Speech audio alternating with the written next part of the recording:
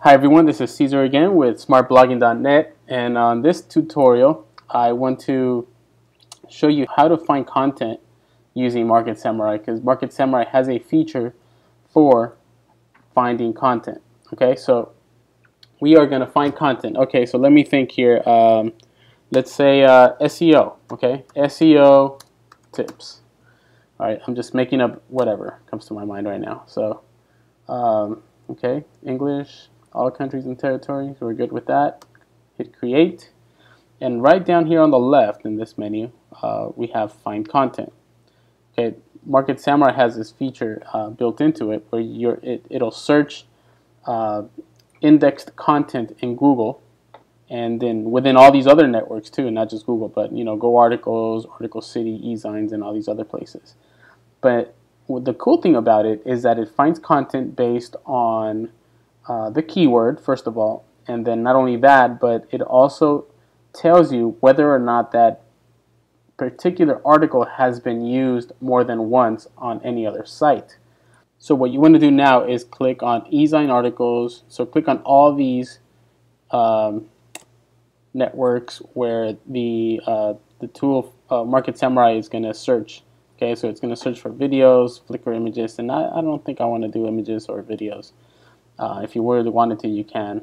Uh, Google News is good, Yahoo News, Yahoo Answers, Scribe Documents.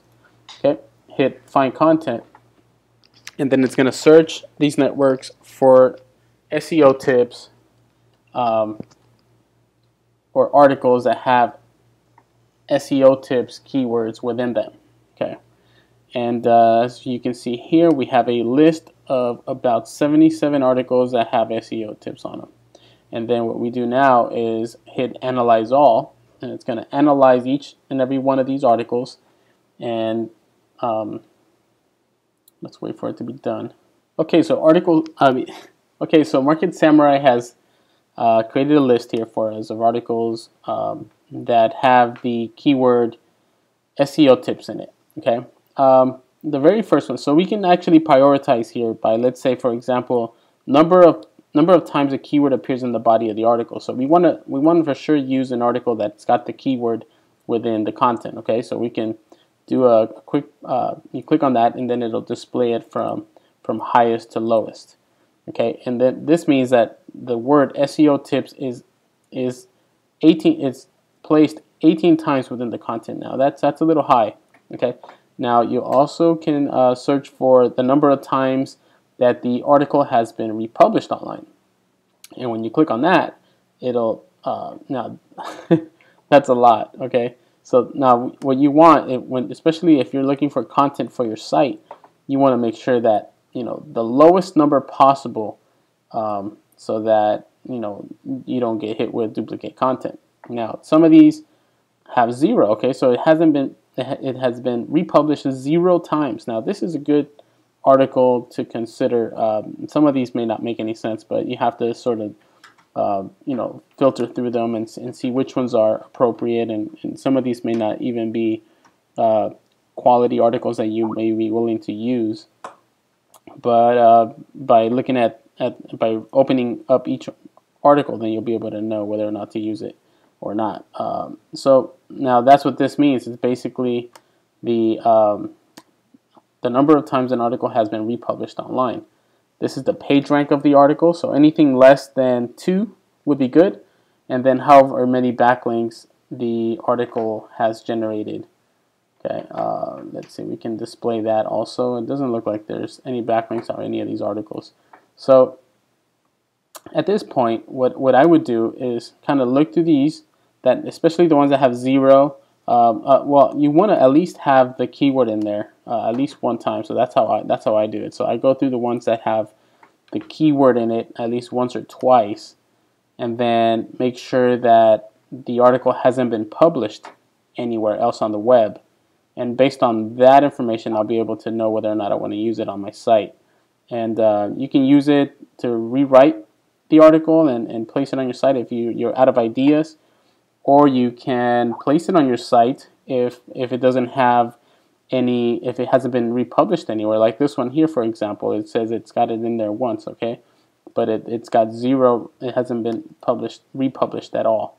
And some of these might you'd have to open it to see whether or not it's a legit article. So we're just going to click on this one for example. Let's see SEO tips for advocacy bloggers. And some of these may not work. Some of these might. So you just have to wait for the uh, for Market Samurai to pull it up and see if it's something that you can use.